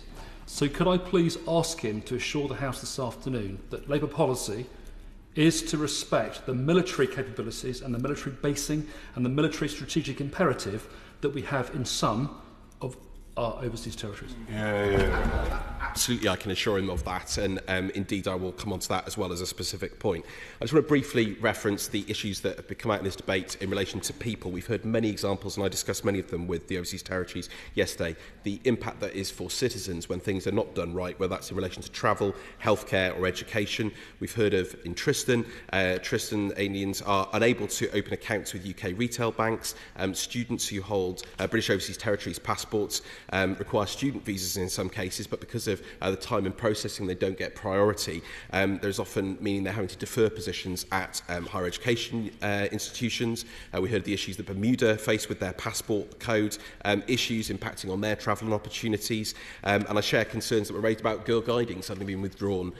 uh, from um, overseas territories. And indeed, of course, there's been direct impacts, as we've heard, of the uh, poorly executed Brexit deal, not least in Falklands, indeed in Anguilla. Uh, the Falklands fisheries countries now having to pay uh, 17 million euro in tariffs on those crucial uh, squid. And it was an issue I did actually raise in debates uh, during that period. And perplexingly, a British overseas territory citizen is not eligible to use the passport e-gates at UK airports, despite having biometric passports often produced um, in the same way that our passports are, whereas people from the European Economic Area can use those gates. That seems to be an absurd uh, situation. I can hear the Minister uh, listening on the front bench. I hope that he takes that into consideration. And we've heard the real issues of, of infrastructure of access to some, particularly of some of the remote territories. Again, uh, Tristan, um, Anguilla looking to um, expand and widen its runway, um, the issues that they face around uh, water, uh, infrastructure, um, and indeed um, the issues, as I said, for many of the particularly remote territories in that. So we've got to see departments working together. It can't just be the Foreign Office, it's got to be the MOD, Transport, DEFRA, and so many others. We've heard a lot today, rightly, about environment. Um, our overseas territories uh, play a crucial role, um, whether that is the marine protected area in the Pitcairn Islands, um, the National Climate Change Policy of Turks and Caicos Islands, um, St Helena's Blue Green Agenda, uh, Montserrat wanting to invest in renewable energy but also dealing with the legacy of the volcanic eruption, and the Cayman Islands efforts in conservation. Um, they play a crucial role uh, not only in contributing to our climate change agenda and biodiversity but also um, uh, in dealing firsthand with the impacts of climate change. Lastly, um, in, the, in the last minute I have to me, Mr Deputy Speaker, I want to re refer to security. Uh, we not only have a duty to protect protect and defend um, our citizens um, and our overseas territories, which we on this side are resolutely committed to. We also have a crucial uh, strategic uh, importance of many of our, our military bases and of our territories. And in face of geopolitical threats, whether that be from China, from Russia, from elsewhere, um, we have got to work closely with our overseas territories and in terms of defence, and not only to defend their citizens, but also to recognise the strategic import of uh, particularly uh, Diego Garcia, Ascension, Falklands, Gibraltar, many places where the uh, honourable and gallant gentleman uh, served. And, and we on this side are absolutely and resolutely uh, committed uh, to that. And we also need to support them in their internal security. Um, uh, for example, sent Helena um, has not had support from the Home Office in providing uh, checking watch lists and sanctions lists, and I hope that that's something um, that the Home Office can assist with. Um, on the Chagos, there is a complex set of issues, Mr Deputy Speaker. It's a historic injustice, uh, which um, I have rightly referred to in the past. It's a complex and nuanced set of, in, of, of issues. Uh, we must balance national security, our compliance with international law and obligations, um, the rights and wishes of the Chagos people who have long suffered, and I've listened and heard their voices very clearly, and also environmental and biodiversity uh, concerns, and I set that out clearly a few months ago. But let me be clear in conclusion, the overseas territories are a crucial and indispensable part of our global British family. We must have modern, uh, respectful and engaged partnerships with all of them. And on this side of the House, we will stand with them as part of that global British family. Thank you, Mr Deputy Speaker. Uh, I congratulate my honourable friend, the member for Rutland Melton and the chair of the uh, Foreign Affairs Select Committee for securing this debate uh, on the UK's overseas territories. And I welcome the opportunity to recognise the UK's long-standing and deep partnership with our overseas territories. And uh, I'd like to pay tribute to my honourable friend's commitment uh, to all our British family. And I'd also like to uh, do the same for the honourable member for Bracknell, uh, my honourable friend, and for his service as well, which needs to be recognised. I too would like to put on record my appreciation, government's appreciation, for the speaker's commitment to overseas territories and for the fast, fantastic event he hosted on Tuesday night, for all the work that he's done um, to support overseas territories, leaders and representatives, and progressing discussions uh, with key stakeholders over recent days. Um, I would like to join him in championing our British family. Uh, the Right Honourable uh, Member, sorry, Lord Goldsmith of uh, Richmond Park, the Minister for Overseas Territories, would have been delighted, obviously, to take part in this debate. Since he sits in the other House, it's my honour to respond on behalf of the government. I welcome the opportunity to recognise the UK's special relationship with our overseas ter territories and also recognise many of uh, the representatives that are here with us today and the leaders who are actively involved uh, in the overseas territories Joint Ministerial Council, which is literally in full swing, being hosted by Lord Goldsmith, with the Foreign Secretary having also attended. Together, UK ministers and elected leaders of the overseas territories are discussing actions to support our shared goals, find solutions, and uh, also work out how we can tackle uh, shared challenges. The Joint Ministerial Council is also an impo important opportunity to strengthen the UK's unique partnership with the territories, to celebrate our rich cultural and historical ties. And above all, it's a platform for this government to reaffirm and demonstrate its first and overriding priority towards the overseas territories to protect and promote the interests of British people. The government is committed to upholding our constitutional responsibilities and interests in the overseas territories. It was made clear in the 2023 Integrated Refru Re Re Review, Refresh We remain committed to protecting the United Kingdom's core national interest, ensuring the security and prosperity of the British people across the UK, Crown dependencies, and the overseas territories. The Prime Minister has recently asked each relevant Cabinet Minister to nominate the lead minister responsible for the overseas territories within their department. Lord Goldsmith, as a minister for the overseas territories, will convene a regular meeting of these ministers as a ministerial group to ensure that the UK meets its constitutional responsibilities. And indeed, several ministers from the UK government are meeting with JMC um, attendees today. The Prime Minister has also agreed that the FCDO should lead on a new cross-government strategy for the overseas territories, working closely with and in partnership with our overseas territories, a point that's been made by the Honourable Member for Rutherglen and uh, uh, Hamilton West, among many others. I'm not able to say at this point what the strategy will look like, but I am clear that the commitments in the 2012 White Paper remain relevant and that it will be developed in partnership, and again, I stress the word with the overseas territories.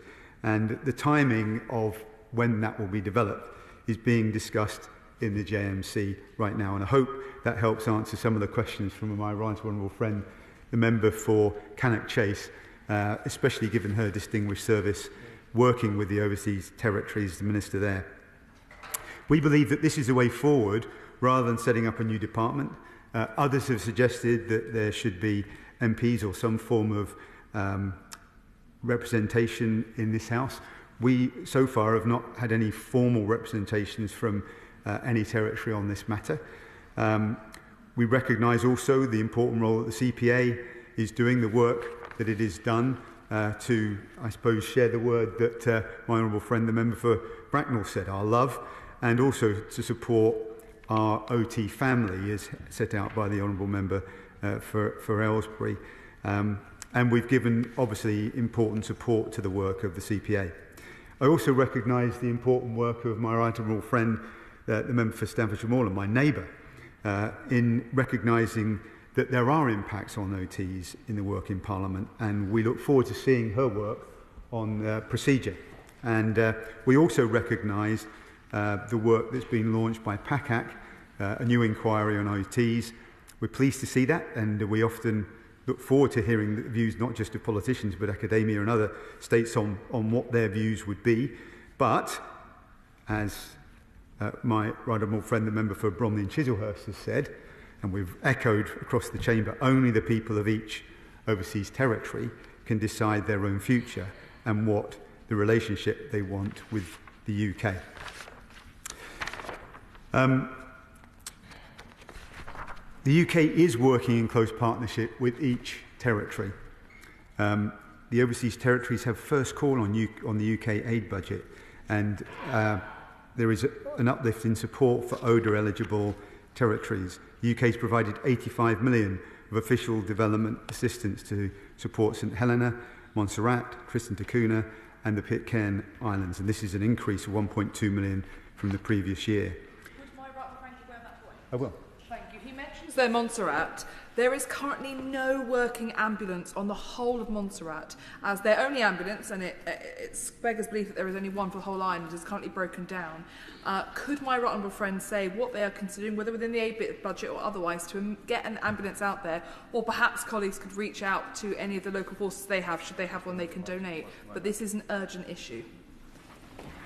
I understand the, point, understand the point she makes. There's lots of detailed questions that have been raised today.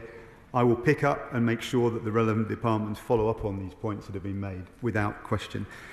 Um, I will on this point, and then I will need to make progress because the Deputy Speaker is giving me an eye.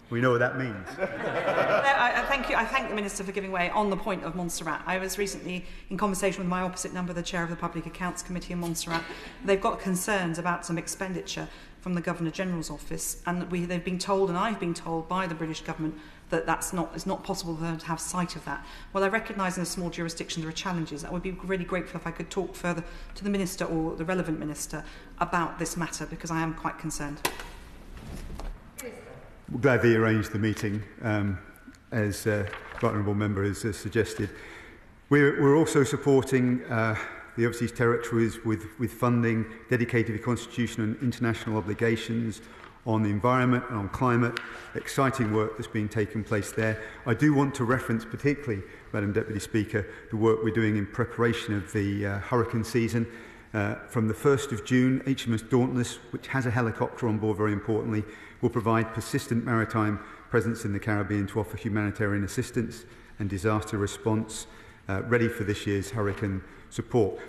Many uh, honourable members have talked about the importance of providing support in security We, we, we have done that. Um, we will do more of that, uh, particularly uh, in, the face, in the challenges being faced by Turks and Caicos Islands. And as the Minister for uh, the Americas and the Caribbean, I'm well sighted of the situation in Haiti and will continue to work with interlocutors uh, and international uh, like-minded states to see how we can support in that situation.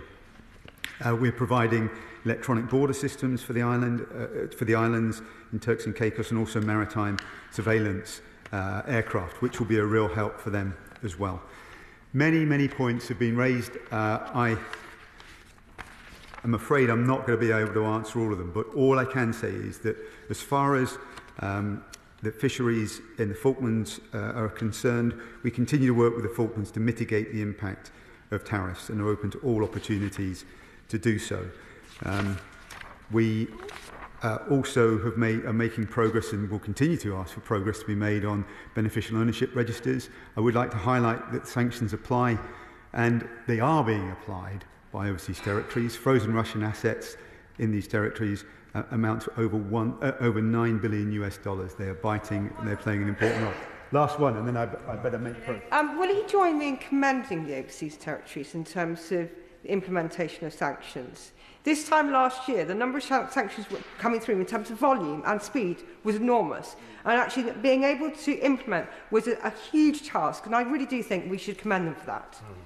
Mm. Here, here. Here, here. Absolutely. This is important work. We also recognise, however, that there is further progress that needs to be made in terms of uh, the beneficial register, ownership registers, and uh, we are doing all that we can to support in that area um, over the uh, weeks and months ahead. Points have been made about Gibraltar. Of course, we uh, are working hard to, um, with the government of Gibraltar to, to uh, make progress and we remain confident that with flexibility on all sides a deal is possible. Understand the points about Gibraltar University and we'll work with the Department for Education on that. Important points have been raised about um, British Indian overseas uh, in, Indian Ocean territories and sovereignty related issues there.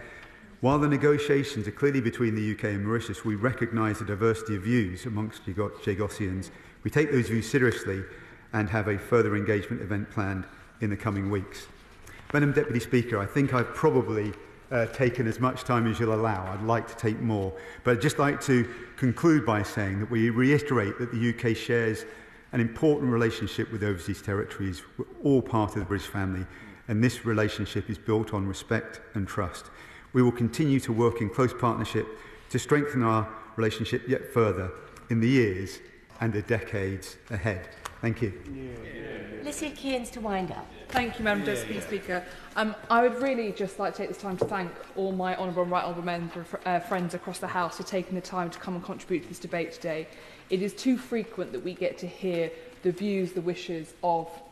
our friends and our family from overseas territories.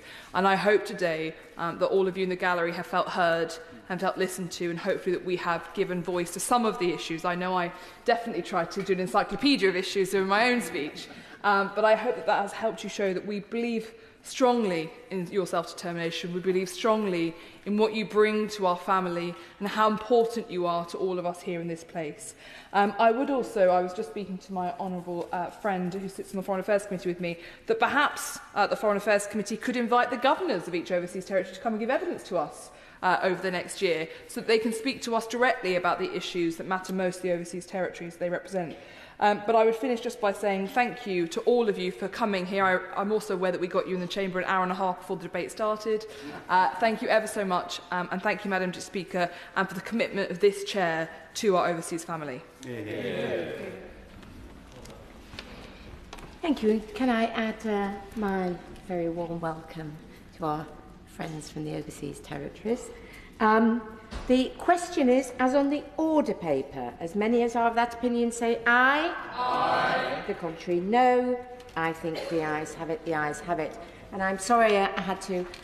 hurry people along. It's just that we do have another debate and really only an hour to get on with it.